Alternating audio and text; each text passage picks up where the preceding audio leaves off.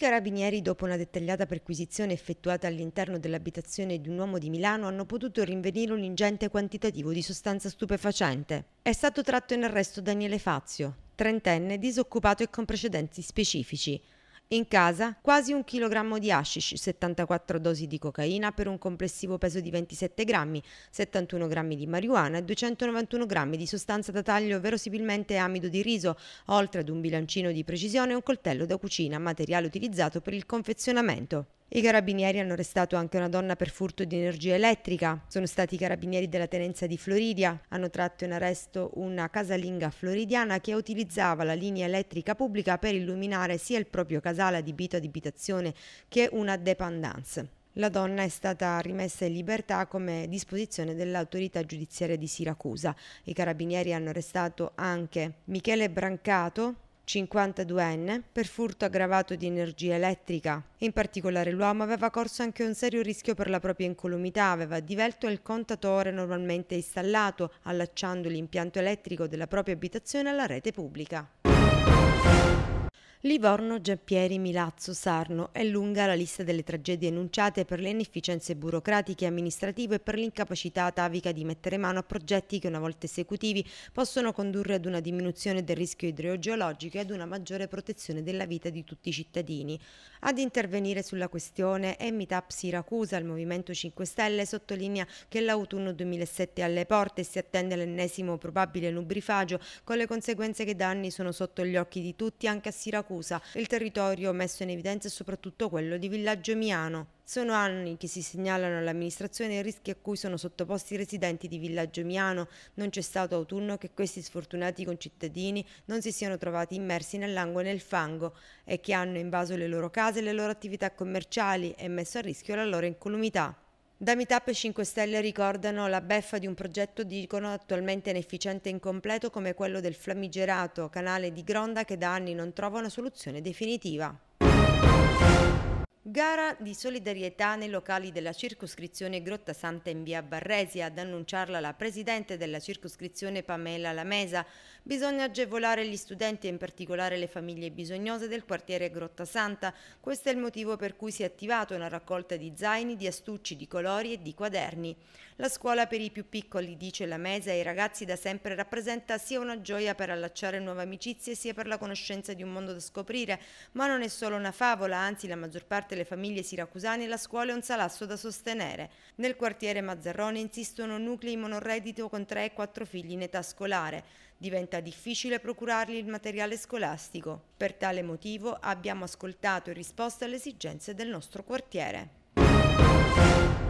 Sull'istituzione del Parco Nazionale degli Iblei arriva l'osservazione proposta di modifica da parte del coordinatore del Movimento Ecologista Fare Ambiente ai liberi consorsi della provincia di Siracusa, Ragusa e Catania. Si promette che il movimento ecologista ha come obiettivo quella dell'istituzione di un parco nel rispetto dell'ambiente e dell'antropizzazione agro-silvo-pastorale. Nelle sedute di concertazione dell'Istituendo Parco degli Iblei è emersa la volontà in parte condivisa anche dal commissario straordinario del Libero Consorzio dei Comuni di Siracusa di razionalizzare la zonizzazione dell'Istituendo Parco. Per fare ambiente bisogna ridurre le aree di protezione, quelle di livello di tutela 2 di color giallo, a oltre 500 metri di altitudine, seguendo le cartografie standard già esistenti in materia di orografia del territorio mantenere le riserve integrali e le riserve generali indicate nella leggenda della tavola del livello di tutela 1 di colore verde, mantenere le aree SIC e ancora le indicazioni dei centri abitati di color grigio,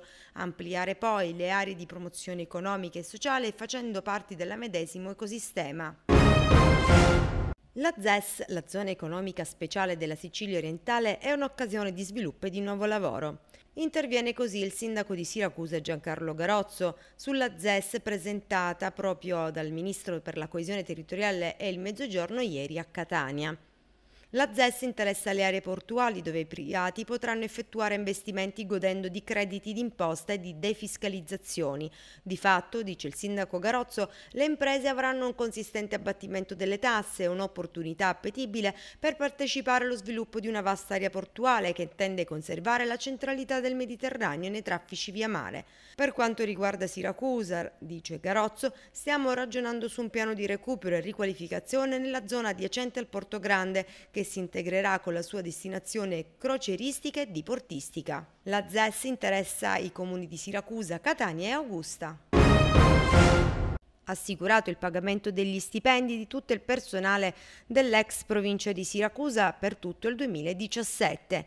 Abbiamo avuto notizia, così conferma il commissario straordinario del Libero Consorzio Giovanni Arnone, attraverso la fattiva interlocuzione con l'assessore regionale l'onorevole Bruno Marziano, che in attuazione della legge regionale che attribuisce 21,5 milioni di euro ai liberi consorzi comunali alle città metropolitane è stata approvata il 13 settembre dalla Giunta di Governo la deliberazione con cui vengono assegnate le risorse finanziarie. Al libero consorzio di Siracusa è stata assegnata una quota significativa pari a circa 8,3 milioni di euro che dovrebbe consentire, unitamente ad altre risorse assegnate dalla Regione, di assicurare gli stipendi al personale. Un ringraziamento lo rivolge Arnone al Presidente della Regione e alla Deputazione regionale siracusana che si è prodigata per l'importante risultato. Per discutere della situazione eh, economica finanziaria dell'ente, il commissario Arnone ha convocato una riunione con i sindacati. Un concerto di musica jazz in concomitanza con i festeggiamenti del 2750 anni della fondazione della città di Siracusa è quanto organizzata dalla sovrintendenza nel sito di Castello Magnace. La Sovrintendenza ai Beni Culturali e Ambientali renderà aperto alla pubblica fruizione a titolo gratuito il sito di Castello Magnace a partire dalle ore 21 per dare l'opportunità alla cittadinanza di assistere a una delle due tappe italiane di Mario Romano Quintet.